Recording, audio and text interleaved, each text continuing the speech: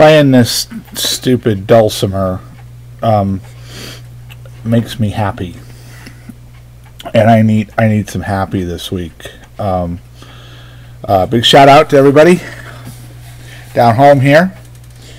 Uh, good to be, you know, back where I belong, and. Uh,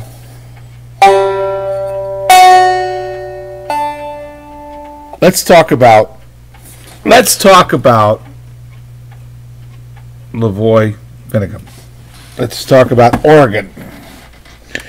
And there's been, um, you know, a lot of news came out in the last in the last uh, 24 hours. As you know, uh, a group of uh, militia, and I'm I'm going to call them Patriot militia. Uh, I know a lot of people are saying no. I, I think they were. They they believed in something. I think they. Um, wanted to, in some way, peacefully protest an overarching federal government. People up north don't understand it. Uh, people in cities don't understand it. People who live in rural communities understand it. People who live down south understand it, and by golly, people who live out west understand it. You know, when uh, when the BLM can come in and and just take over, you know, ranches and and and it just it's a, it's a stinking mess. And and nobody was listening so they they took over this this bird sanctuary which um, in the dead of winter nobody was using anyway. You know because of on news. And it was peaceful. I mean there was no buildings being burned down. There was no rioting in the street. There was no looting of stores. There was just you know hey look at us. We've got we've got a, a message we do the right thing, did the wrong thing. You know what? History will be the judge of whether it was right or wrong. Okay, uh, I'm not. I'm not even here to, to, to mess with that. And I think it went. I think it maybe went a little too far. Uh, I think it went a little too far uh, for the taste of the people in the area, for the for the government, for, for everybody. But that's not my call either. I, I wasn't in charge. I, I, I it just so the leadership the leadership of this protest, and there was a, there was a lot of issues, not just the BLM, but that was that was a big one. Uh, are on their way under, you know, I guess a flag of truce to go and speak with the sheriff, which they recognized rightfully so as the head law enforcement agent of, of the area, and they are stopped. Stopped. You, you got uh, Bundy brothers. You've got uh, LaVoy, uh, some gal I forget her name, and it was rather obvious that you know that this was this was a, this was a setup.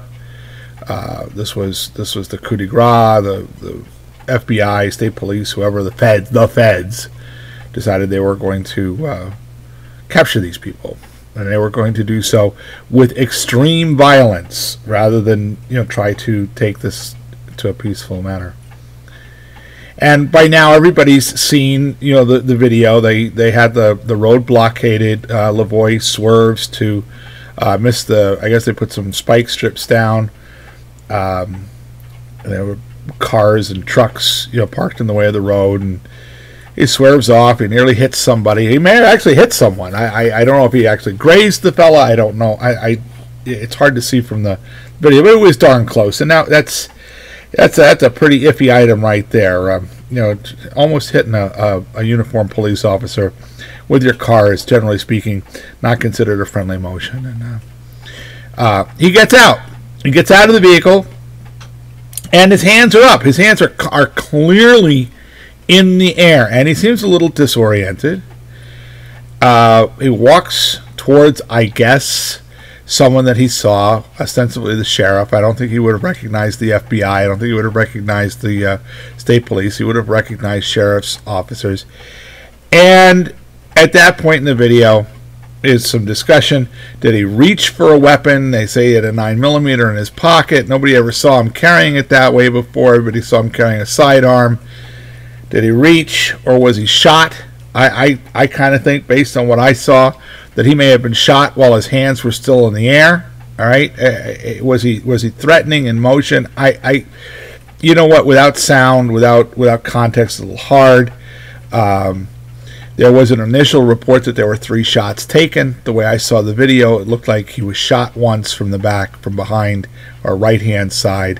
He reached to cover the, the wound and probably to, to reach at that point for a weapon. I mean, I, I would if you're shooting at me. I want to at least try to defend myself.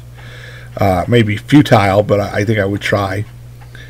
Um, he reaches again. It appears again that he was shot a second time, uh, and then a uh, another grab, and a third shot is fired by a uh, by a trooper with a long gun coming in from the left, hiding in the bushes. Uh, the reports of the van being shot up. Well, you know, they first they said it was only three rounds, and all of a sudden we see, you know, we see flashbang grenades going off. We see these uh, pepper or or tear gas rounds, less than lethal. I don't know. Uh, what would you think when you were in the car? When you were being shot at? Were you going to worry whether or not it was, you know, 223 rounds going through or some kind of pepper gas? I mean, you really wouldn't know. All right, here's the side die on the whole thing. Okay. A lot of questions right now amongst the Patriot community. Was it a good shoot? Was it was it unfair? Was it murder? Was it this? Was it that? In my opinion, I think they're going to find this to be a a justifiable uh, lethal force incident. Now the question is, was it a clean shoot? You know what? I think it can be justifiable and murder at the same time. The Bible tells us that murder is to lie in wait with the intent to kill somebody. I think that the um, I think the federal government, the FBI agents, the state police went there with the intention that they were probably going to kill somebody or at least that they would have to. The way that it was all set up, there supposedly were snipers in the trees. I believe them. Uh, the the uh, the fact that there was a uh, an officer with a with a rifle hiding in the bushes, you know that there was an ambush, uh, and and all this under the color of a flag of truce. You know, apparently these guys were going to talk things out, and they weren't going to have any of it would it have been so bad to wait another week, another two weeks? That's not the way the federal government does things. No, no, no. Let me tell you what the federal government does, okay? When you do something that they don't like, they do what they do at Waco, they do what they do at Ruby Ridge, they do what they do out at Bund, uh, Bend, Oregon, okay? And they kill people. You have to kill a lot of people to stifle the patriot movement. You don't have to kill one or two people. You know, and yeah, our passions will be inflamed, and we'll discuss this back and forth, and we'll be at each other's throats. And that's what I want to talk to you about right now. Listen, no matter how what you think about this, and there's going to be discussions on this. Listen, we're still discussing Waco, we're still discussing Ruby Ridge, we're still discussing 9/11. These things are not cut and dry. The mainstream media is not telling you the truth.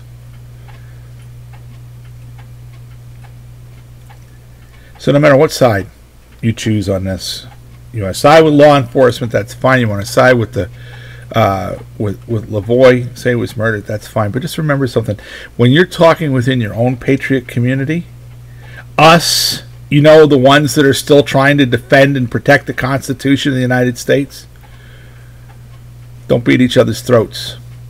Don't uh, don't fight too bitterly, okay? Because the way that they win isn't to kill all of us it is divide, it's conquer, it's tear us apart limb from limb.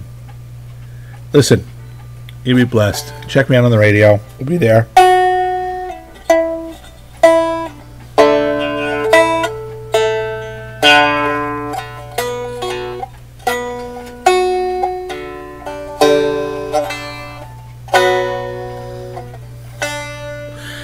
And um find something that makes you happy for a little while. Take a little rest from this every once in a while. That's what I'm doing. God bless you, man. God bless you, every last one of you.